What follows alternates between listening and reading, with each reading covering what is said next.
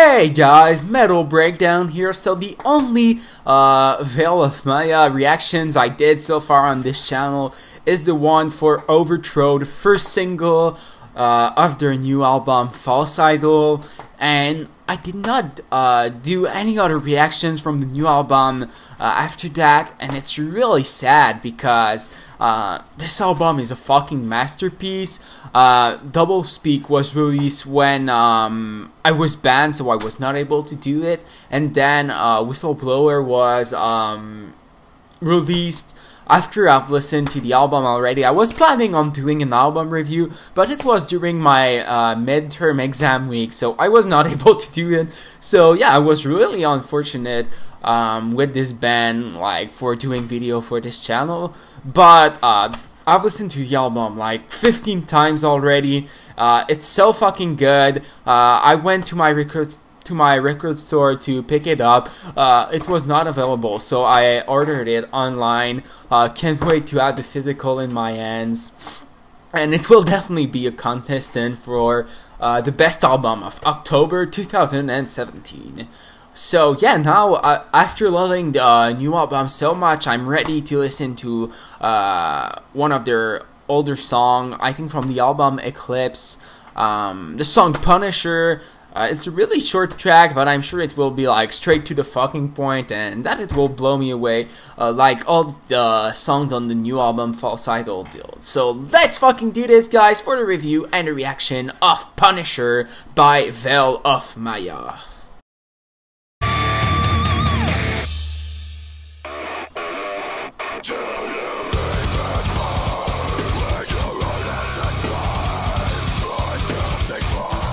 Gotta love the fucking chant.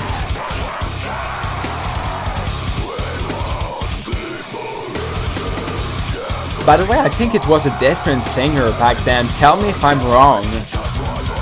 But it still sounds so fucking good. Or maybe it was the first um, album with the new singer.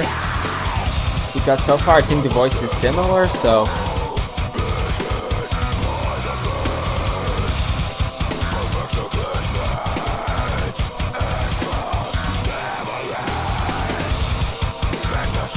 Incredible.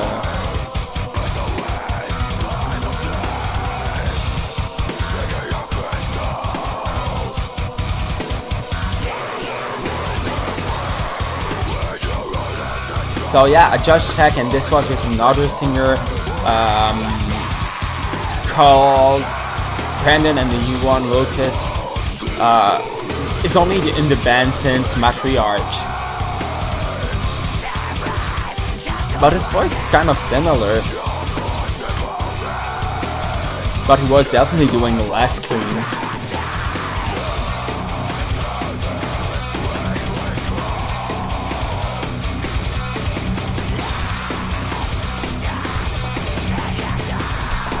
While the new singer has kind of the voice of Spencer from Periphery, like it's kind of similar in my opinion.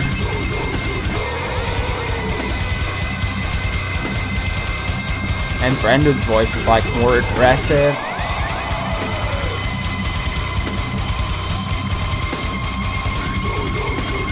But yeah, Veil of Maya was way different back then. Still fucking good though.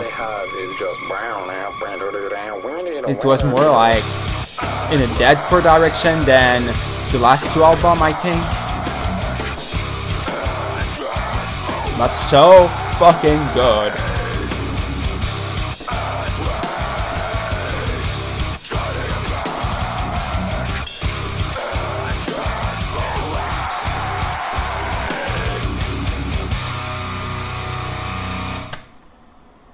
Already over, only 2 minutes and 30. That was fucking great. Uh, the only thing I'm really sad about is uh, that it was way too short. God damn it.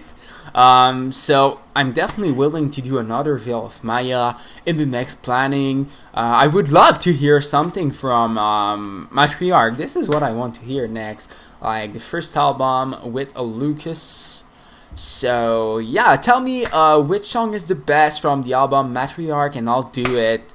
Uh, I want to know the best um, the best track on this one. So yeah, just tell me and yeah, I'll do the one that you want. so yeah, also if you're new here, you love Veil of Maya, uh, make sure to subscribe to my channel. Uh, like you can see, I'm really new to this band and I'm loving it so far. So yeah, if you want to uh, discover it with me, uh, jump on the Veil of Maya discovering train. What the fuck am I saying? Okay, uh, the only thing I'm saying, if you love what I do or if you love Veil of Maya, subscribe to my channel. And yeah, just thank you for watching. I'll see you all in the next video.